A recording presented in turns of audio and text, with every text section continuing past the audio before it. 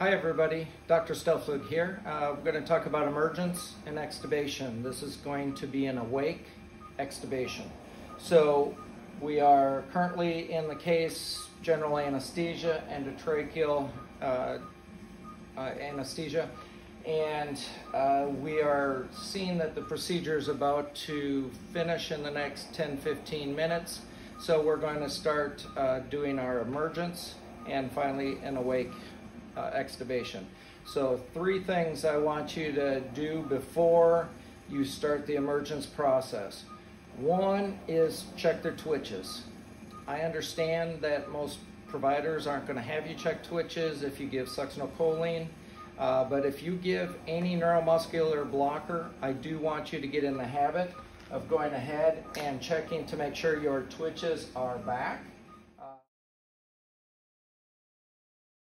All right, and now when we are checking twitches, we take our twitch monitor, we turn it all the way on to 10, all the way that it can go, and then we are gonna do the train of four. You hold the button of train of four and you watch the twitches. See if you see that a little better here. One, two, three, four. Okay. Um, Obviously, we want to make sure that we have a nice bright light on there to uh, see that we're getting there. If we don't get any twitches, either we are still muscular blocked, neuromuscular blocked, or maybe our connections are not on, or our battery is dead. Okay, so check your twitches. Uh, if you want to do just a post-tetanic twitch, hold the 100 megahertz down for a count of five. One, two, three, four, five. And then hit the hold down the twitch and count how many twitches you have post-tetanic. Okay. Uh, or what kind of fade that you do have. If you have a fade, now would be the time to start giving a reversal or thinking about giving a reversal, drawing up your reversal, that kind of thing. So check twitches, number one. Number two, while they're nice and deep in uh, stage three of general anesthesia, I want you to suction them out, okay? Let's get all that saliva that they've built up over the case, get them as nice and dry as we can. It's stimulating, but yes, we do have anesthesia going on, mainly our sevoflurane, that's going to help cover that and they should not be bucking during that process.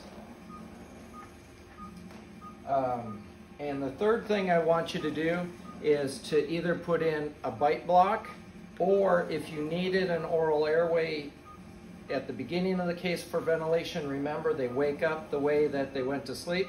So if you had trouble ventilating them going to sleep and had an oral airway in, Now's the time to go ahead and put that oral airway back in. If you did not have an oral airway in, put in a bite block. When they wake up, they like to bite. We don't want them to occlude the tube by biting. So you can make an easy bite block by taking some gauze that you'll have in your anesthesia cart. You just roll it on up, take some tape and roll it around. I don't, of course, want patients swallowing this or anything. And what you can do is you can take a piece of tape and just go ahead, tape that to the tube. That way they can bite down on it, and when you pull out the tube, you're taking out the bite block with you. Uh, so that's a process that I like. After we do our three steps, I want you to go ahead, start titrating down on your sevoflurane. So if you were at a full MAC of two, go ahead and cut it down to maybe one. We are going to start increasing our fresh gas flows and switching to 100% oxygen. So we're going to go from our two liter maintenance fresh gas flow to anywhere six, eight, 10 liters of fresh gas flow, 100% oxygen, just like when we went to sleep.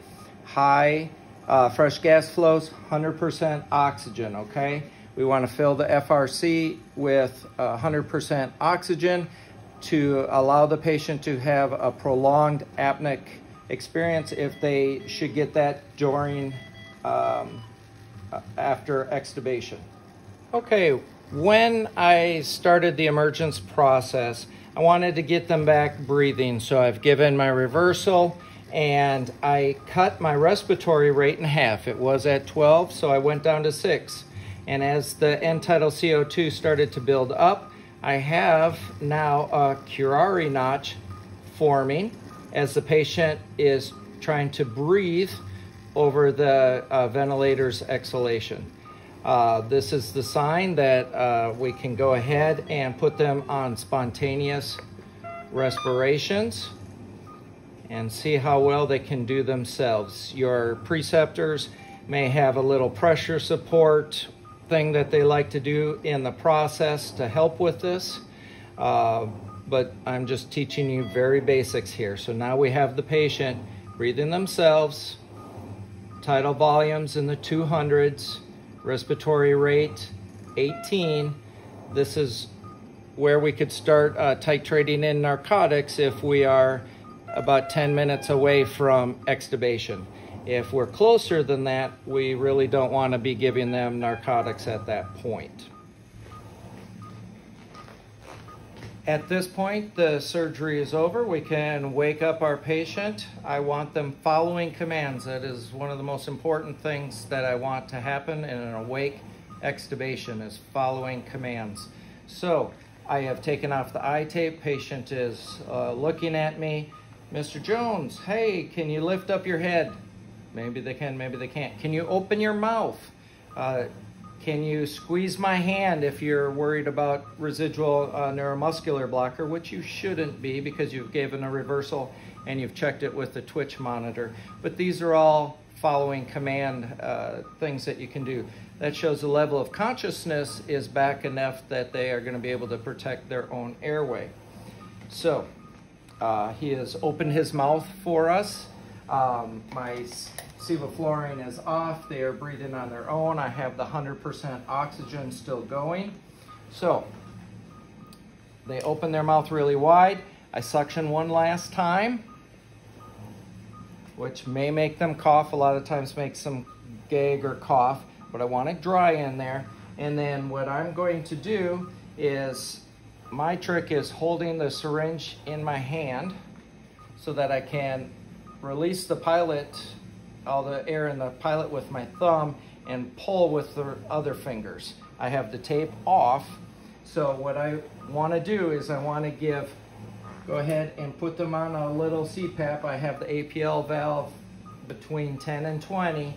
I want to breathe with them very deep and quickly to get all the condensation of that tube out of the tube. I don't want any condensation hitting the cords as I go out because that will cause a laryngospasm. And then I want to extubate on exhalation so that way their air is going out and they're pushing any secretions or anything away from the cords, okay? So it takes a little practice, but when they breathe in, decrease, pull out, and there we go. As I take this out, trash can is really nice to have on your side. Have your mask right next to you so you can go ahead, if they're coughing, anything like that, you don't want to have everybody sprayed with uh, saliva or whatever. Um, plus, this is helping me being able to give a little positive pressure if they were to go into a laryngospasm. Um, also shows me that they're breathing on their own, that you know, I can see that I have positive end-tidal CO2. Uh, they're following commands. Now's the time I can uh, give some narcotics if I wanted to, if the patient was hurting. If they're not hurting, don't worry about it. It is now time to disconnect monitors and get them over to PACU. Thank you. I hope this was very helpful. Uh, let me know what other videos you'd like to see.